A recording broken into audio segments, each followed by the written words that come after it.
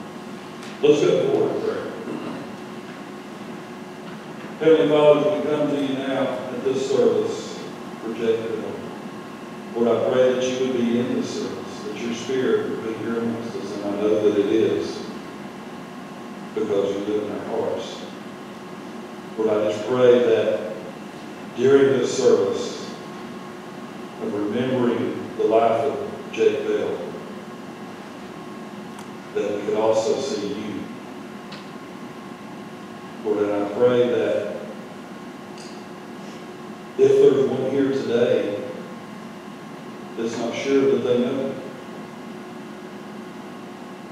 I pray that this will be their day to do that. What can think of a better legacy for Jay Bell for someone to come to know you at his final service?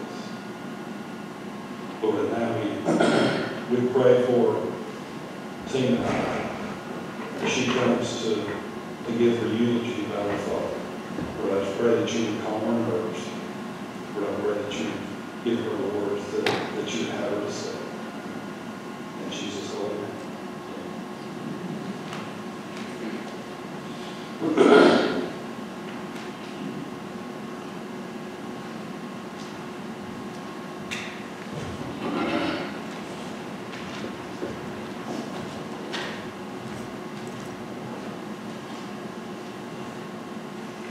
I want to thank each and every one of you for coming today to celebrate Dad's life.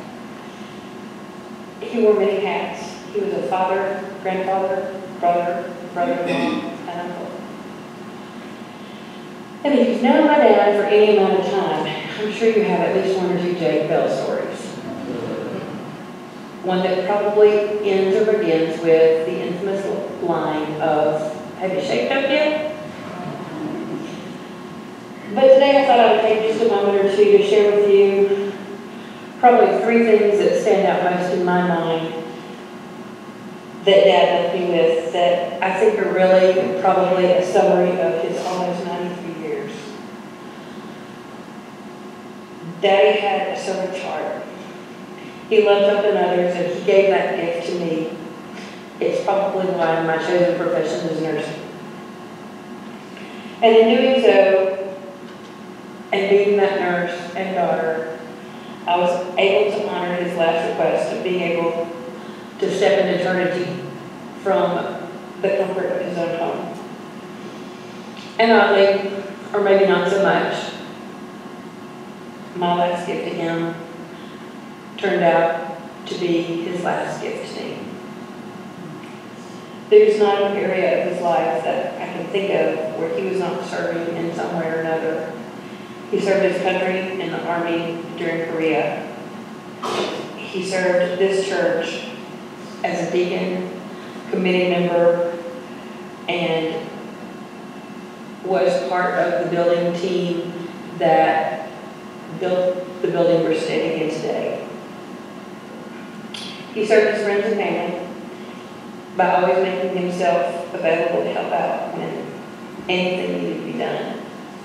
He served his wife in her final years as primary caregiver, and he was a constant support to me, Lainey and Lexi, as a primary role model for his granddaughters.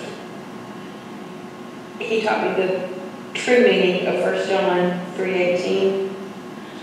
Beloved children, let us not with love with words or speech, but in actions and in truth. And also Galatians 6.2.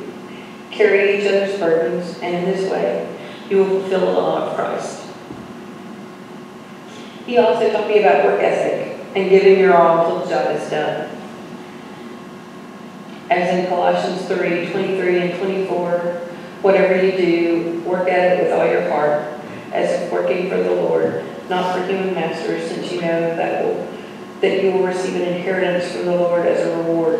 It is the Lord Christ your servant. And lastly, he taught me about laughter and not taking yourself or life too seriously. Dad always said it was better to laugh than it is to cry, which taught me not to sweat the small stuff. And really, when you think about it, it's all pretty much small stuff. After all, none of us are getting out of your life. So in closing, I hope when you think of Dad, I hope it puts a smile on your face, laughter in your heart, and encourages you to love and serve those around you.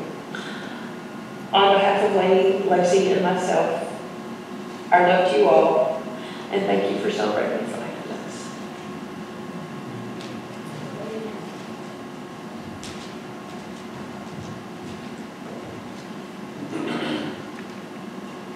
Thank you, Tina. You did a great job.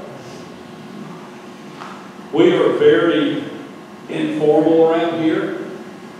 And uh, Tina said that there might be another family member or friend here that just wanted to come up and share some memories of, of Jake. So we're going to open up the mic if there's anybody here that wants to just come up and, and share what's on your heart. Don't be shy.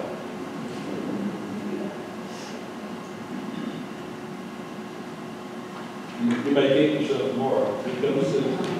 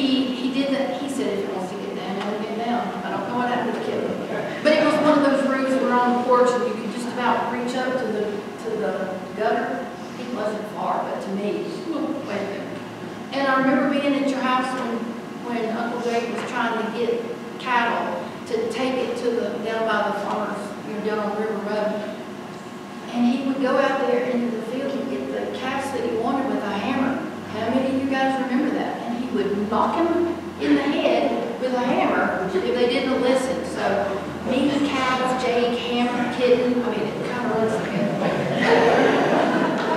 Anyhow, Stephanie and I were talking about it. We always, he was so big and so strong. You know, you're like, oh, I have to hug him because it's going to hurt, you know. Um, but he would, we were afraid of him, but he was gentle. He knew he wouldn't hurt us.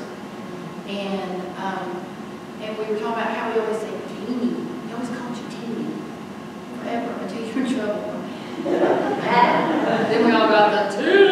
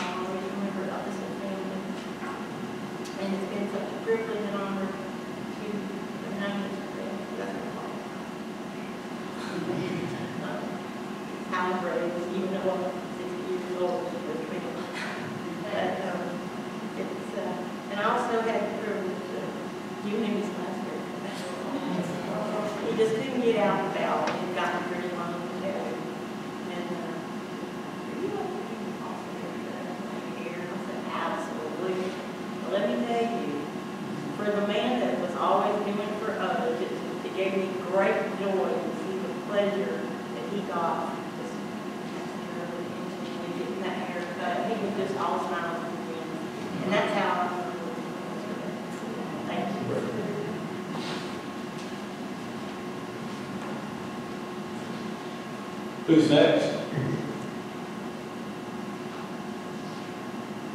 You don't come, you may get yourself tomorrow. Listen your chance. I remember we went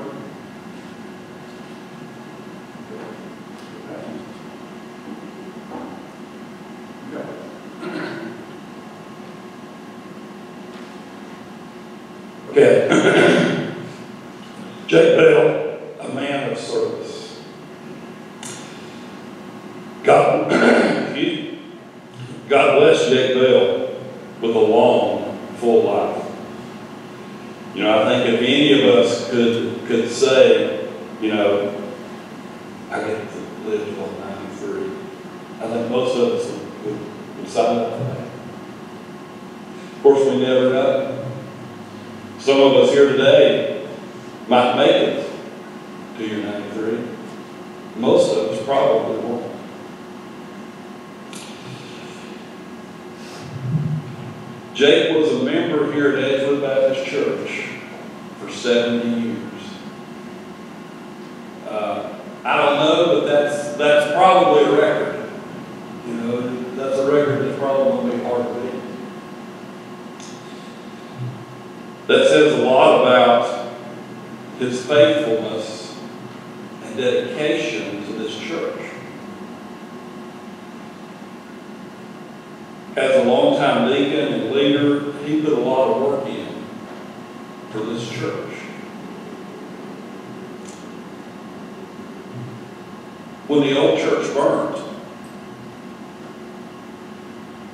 Right there to help rebuild this church that we're in today. Volunteering his time and his talents as a builder.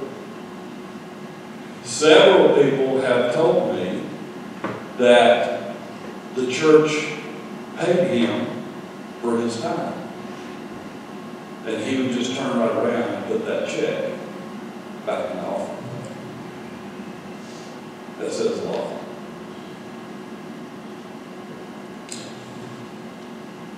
I'm sure there were times when it would have been easier to just step back and let someone else do whatever it was that needed to do.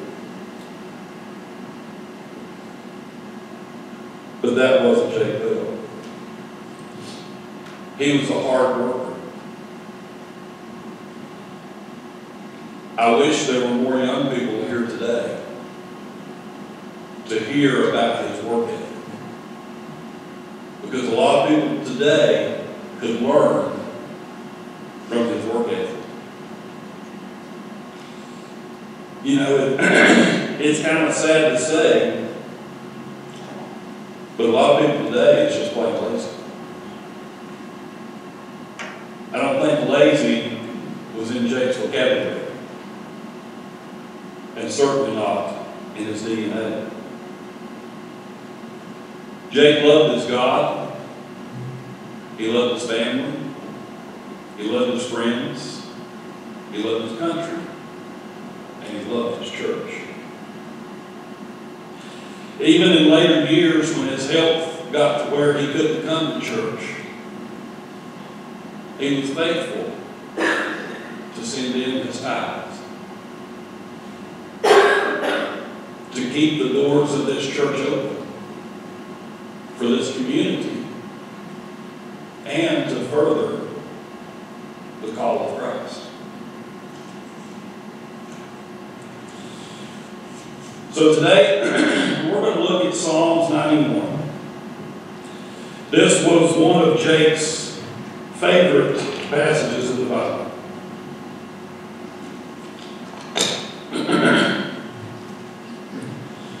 Psalms 91. The heading above it says safety of abiding in the presence of God.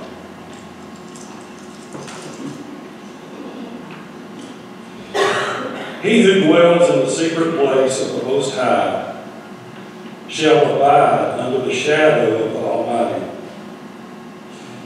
I will say of the Lord, He is my refuge and my fortress. My God, in Him I will trust. Surely He shall deliver you from the snare of the fowler and from the perilous pestilence. He shall cover you with His feathers and under his wings you shall take refuge. His truth shall be your shield and buckler.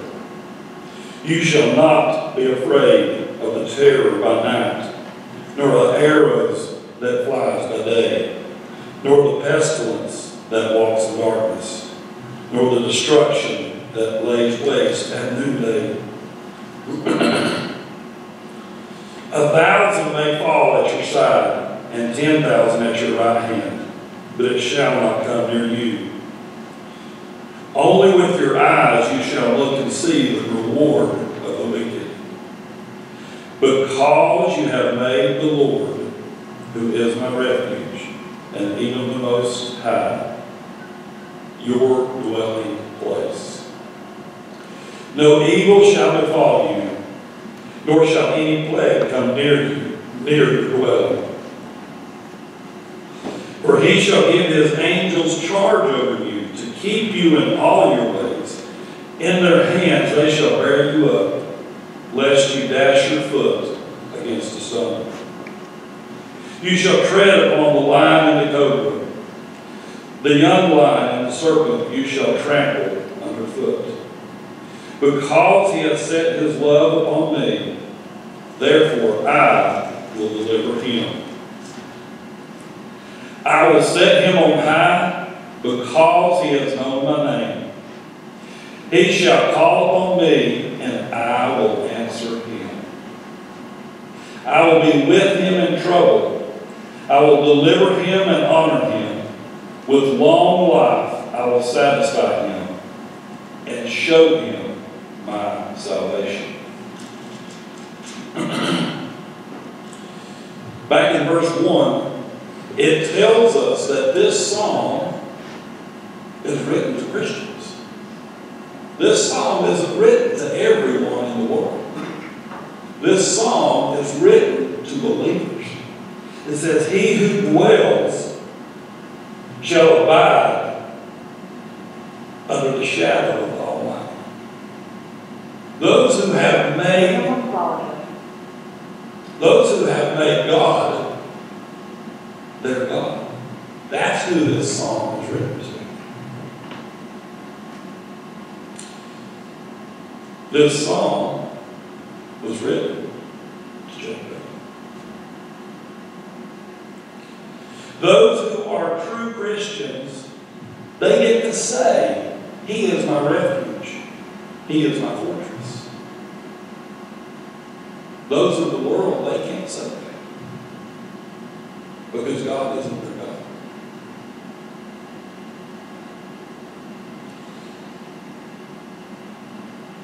Says, My God, in Him I will trust.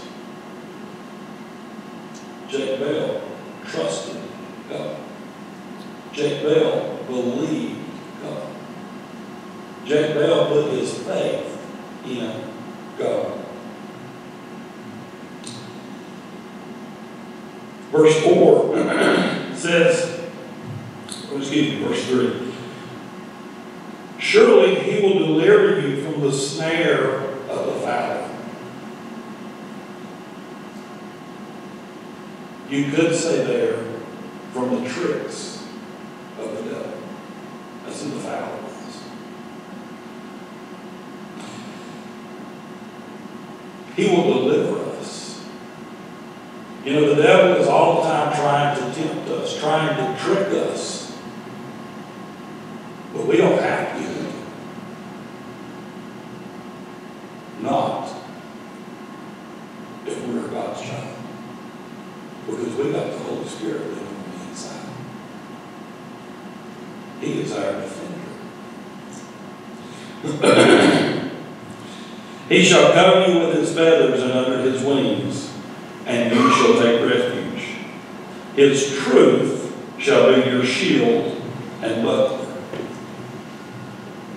This is his truth. Most of us know what a shield is. A shield was a, was a metal uh, plate that's usually, if you're right-handed, you wear it on your left arm, and you use it to protect against uh, the sword of, a, of the enemy. You have your sword in your right hand. But a buckler is a much bigger shield. And it would shield your entire front, much taller and wider. And if several soldiers put their bucklers together, it was a complete defense against their enemy. Back in those days, they would shoot arrows from a long ways away that would come down on the enemy. But if several of those soldiers got together, put their bucklers together, they kind of crouched down under, it completely covered. The arrows could not hit them. If we're in tune with God, if our fellowship where it should be with God, the arrows of the devil cannot penetrate us. He can tempt us. But he, the Lord, is our defense. He is our buckler.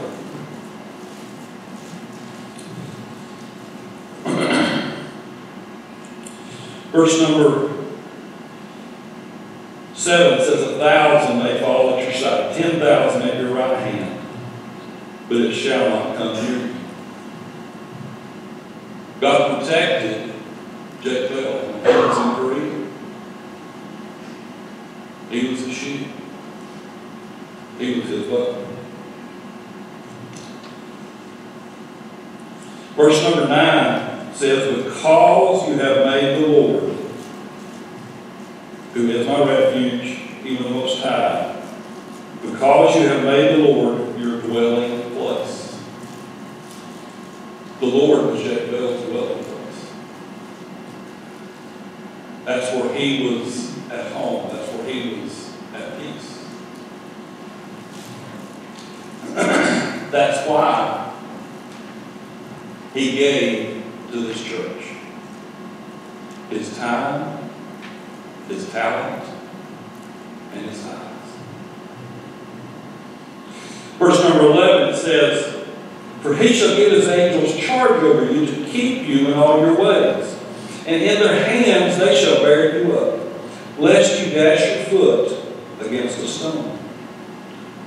Does those verses sound familiar? They should. Because the devil used those same verses in Matthew 4 when he was tempting Jesus in the wilderness.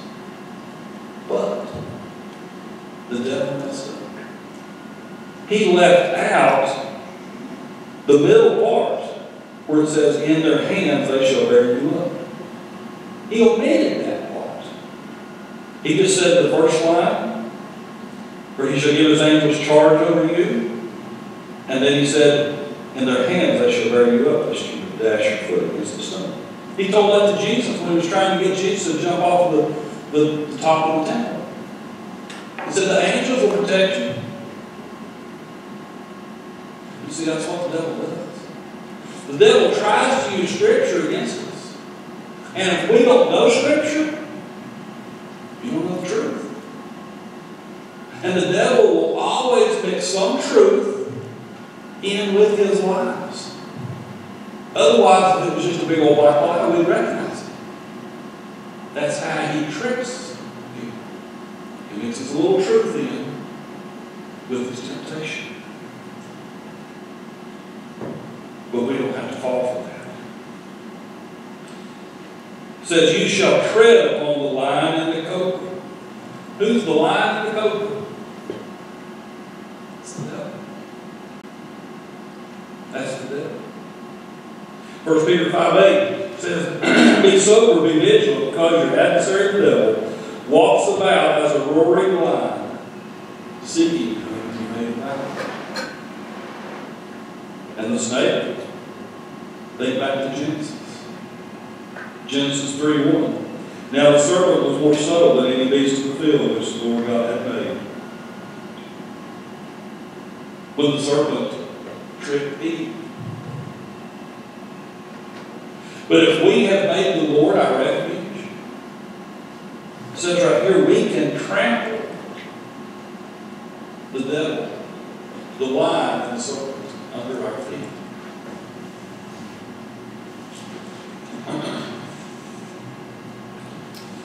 Verse 14, because he has set his love upon me, therefore I will deliver him. Jacob loved the Lord. And because he loved the Lord, the Lord delivered him. Many times during his life. And then a few days ago, when he took his last breath, the Lord delivered him from this world to heaven.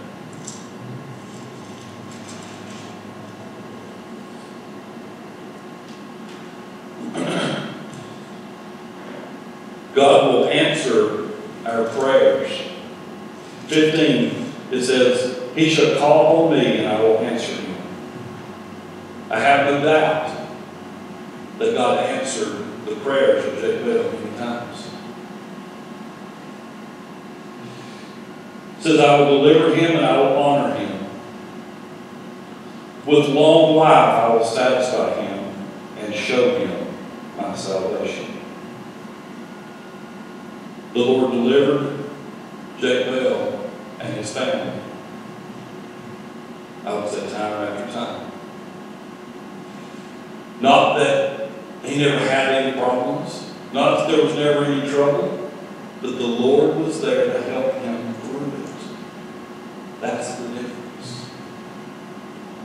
That's the difference. Doesn't say trouble never come. Because trouble comes to all of us.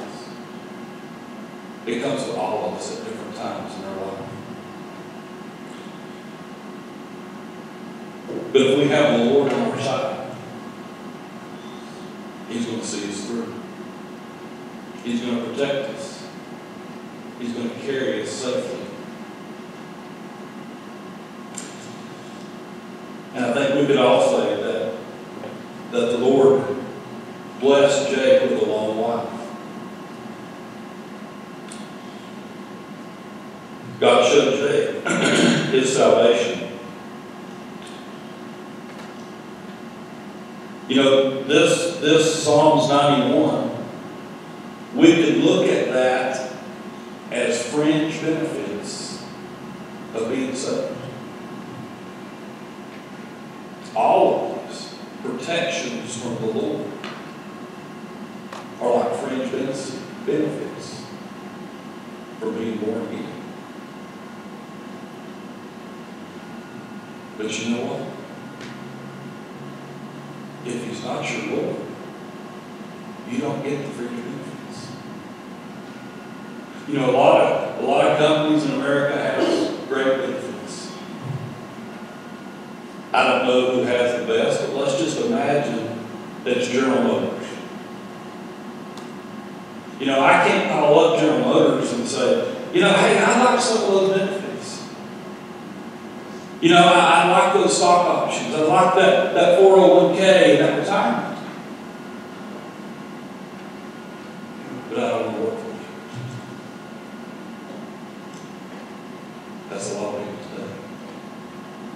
They want God when they need Him, when there's a catastrophe in their lives. But the rest of the time, they don't have time. I'm happy to say, Jake Bell took time for the Lord. He had 24 hours of his day, just like we. But he took time to serve the Lord. He took time to have a servant's heart. Jake Bell was a good man. Jake Bell was a good husband.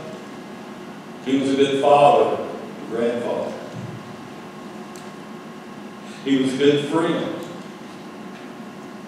a good church member, and a good member of his community, and a good soldier. But Jack Bell's not in heaven today because of his good man. Jack Bell's in heaven today because one day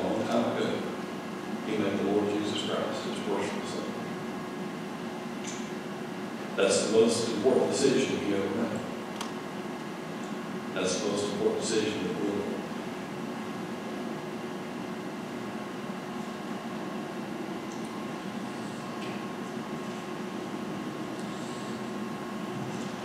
I wish I would have gotten to know Mr. J. Bell better. I'm sure that many of you wish you could have spent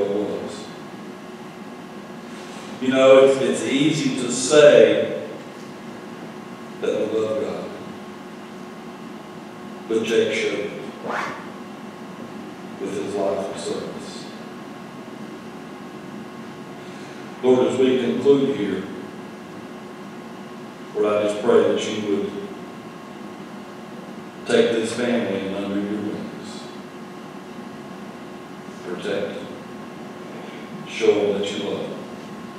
Show them that you're going to be there for them. In Jesus' name. Amen.